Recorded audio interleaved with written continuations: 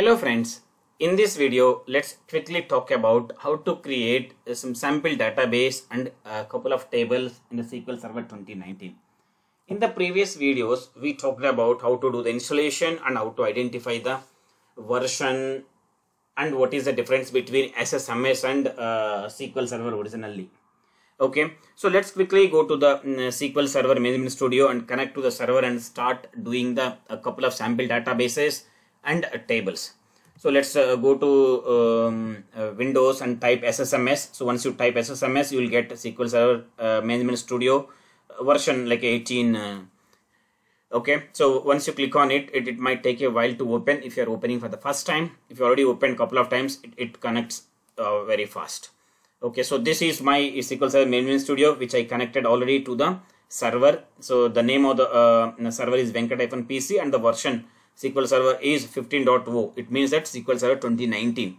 Okay, this is the backend version 15.0. Okay, so let's uh, uh, quickly go to the new query and create a database. So you can create a databases in, in multiple ways. So let me quickly tell you how to create a database. In easiest way is simply right click on the database, click on new database. So once you uh, click on a new database, you will get a, a, a window like this and it will ask for the name so name of the database. So I'm going to create name of the database is sample.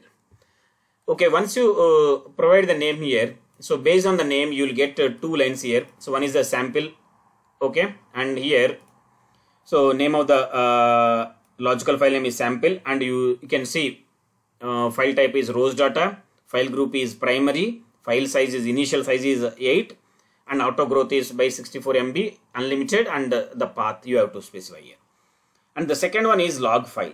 Okay? So in the log file sample underscore log whatever the name you give you will get it. If you want to change you can change it but the best practice is whatever the name you are giving the database name better to maintain the same names so that when you go to the file system it's very easy to identify these files belongs to the sample database. And here log file group is by default not applicable. You can put it even. And initial size is 8 MB I can change it to 1 MB or I can change it to 8 GB it's up to me but I need to specify the size in MBs and auto growth. I can restrict here okay? I can by, by clicking on this I can restrict here limited to MB or I can do unlimited. Because I am not going to perform major operations on the database. I can put it as unlimited. No, I, nothing to worry on a space in my server. That's the reason why I'm going with unlimited. But in some cases if you want to restrict to the specific size you can put it. Even the log also you can keep it uh, restriction but I'm okay this is my personal box I know I'm not going to do anything so if you want any some secondary files, you need to click on add or there's other ways by doing that. I'll tell you the later. And the owner by default, it will goes as a default. Who will be the system administrator will be the, uh, not system, SQL administrator will be the owner of it. By default, I'm going to keep it as key default. Okay, I'm, I, I'll go with these options and click on OK. This is the one way of creating a database. Okay, sample has been created here. the second way of creating a database is, let's click on new query. once you click on new query you will get a window like this okay? So you can simply use create database. Uh, examples. I'm going to put it as name of the database examples. So ideally so this one line is enough to create a database but so better to specify where do you want to put the log file where do you want to put the data file which i showed you two files so if I click like this by default, it goes into the C drive where the software has been installed in that drive only it will go.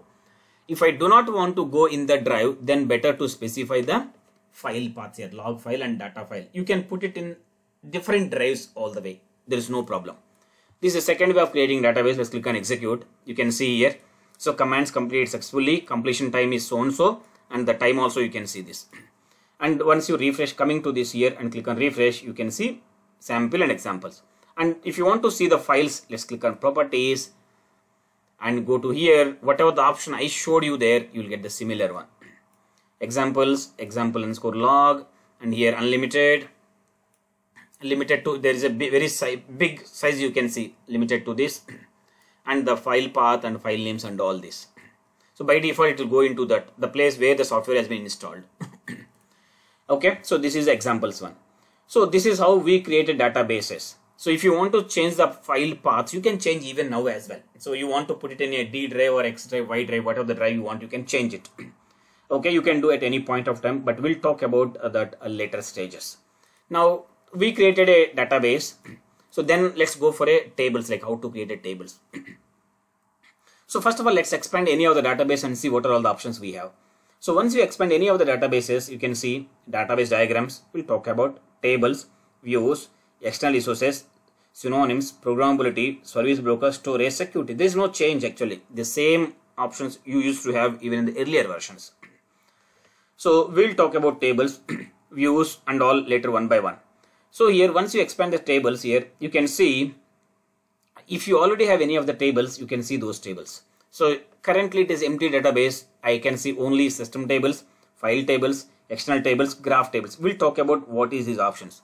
So if you observe these table options with the earlier version, you might see little difference. We'll talk about one by one slowly. Then how to create a table here.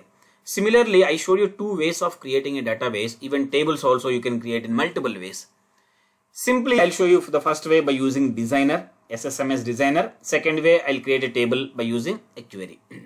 now right click on a table and click on new, click on table. So once I click on a table here, I'll get this option. But here, I don't get a place where to store. Okay, why? Because so all the tables will go and sit into the data file. Data file already been created on the C drive. I cannot specify the location of a table here. Okay, but but they in in in some cases while doing a partition, while doing a, a, a file groups, so that time I can specify that. I'll talk about slowly later. Now let's go let's go on a table creation here. So I'll create a very basic table so with the name of employee okay? So i'm going to put it as idemp okay? So idemp obviously will be numeric okay? Allow nulls. No i don't want the nulls. Let's come back to the here. Id employee as um, uh, emp name. Let's make it as emp name. So make it as a varchar of 50 nulls. Next uh, location uh, make it as a varchar of uh, 50 that's okay uh, next uh, department I'll pick it as department ID. Okay, so department ID, uh, make it as uh, numeric. Okay, so let's keep it that whatever you want. Let's save this. How to save it? You can simply mm, press on the Control S. So till now we did not give a place. We did not get a chance to give a name of the table. Okay, then how to give the name of the table? Once you press Control S or Save button here, it will ask you for what of the what is the name of the table. Okay? So by default it it shows you the table underscore one. So but i don't want to go with that uh, table underscore one name. It should be a, a, meaningful name to my table. So i'm going to make it as emp or employee or employee details. Whatever the name you feel it's good then give the name. Let's click on ok so once you click on ok let's come to the tables and refresh here you will get that table name here DB1s, dbo1 dbo.emp the dbo is a schema name we'll talk about later So you can see the icon also. This is represents a table actually. This is one way of creating a table. Now how to create another table by using query is Let me quickly come here, right click and click on new query. Here I am going to put a query to create a table. So ideally use a query to create a database or to create a table. That is the best way of doing that. But I am showing you multiple ways just to show you the uh, ways that's it. Now just simply write create. You want to create anything in SQL Server, you have to use create statement. Create table, name of the table. So I, I created a EMP, right? I'll put a student. Okay. I'll put a student, open um, parenthesis, close parenthesis at the end. And in the middle, let's write the columns. So student ID or ID student, whatever it is. So int, I'm going to put it as int. Next one is uh, student name. Okay so varchar of um, uh, 50 ideally uh, I, I go keywords with a um, uppercase letters okay? That's the reason why I'm, I'm using that. Even you can go with a, a lowercase letters as well it's up to you. Next uh, student um, marks. Simply I'm going with the marks I'm going with a numeric. Okay so 18 comma 0 we'll talk about what is 18 comma 0 and all okay so this is a syntax in creating a um, a table by using query. So once you are done, let's select this and click on execute it. So here it won't ask for the name of the table. I already gave the name of the table.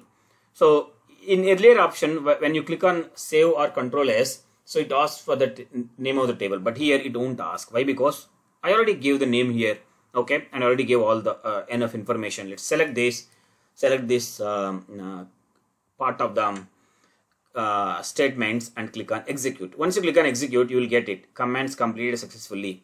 So if there is any issue you'll get in a red color. I'll show you that as well.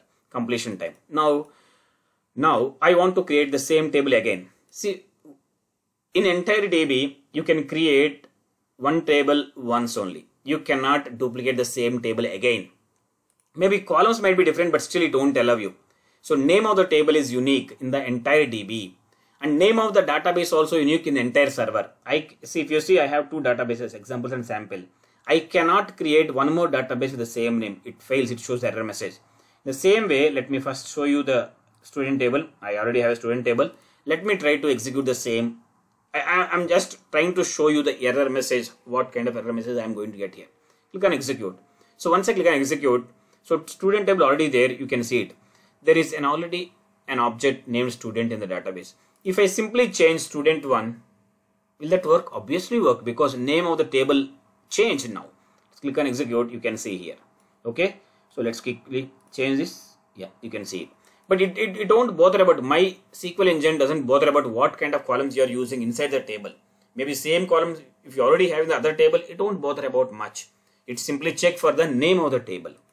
Okay, so that's how you create the databases. That's how you create the tables. But table name or database name is unique. Database names are unique in the server. Table names are unique in the database. So that's how I do create the tables and databases.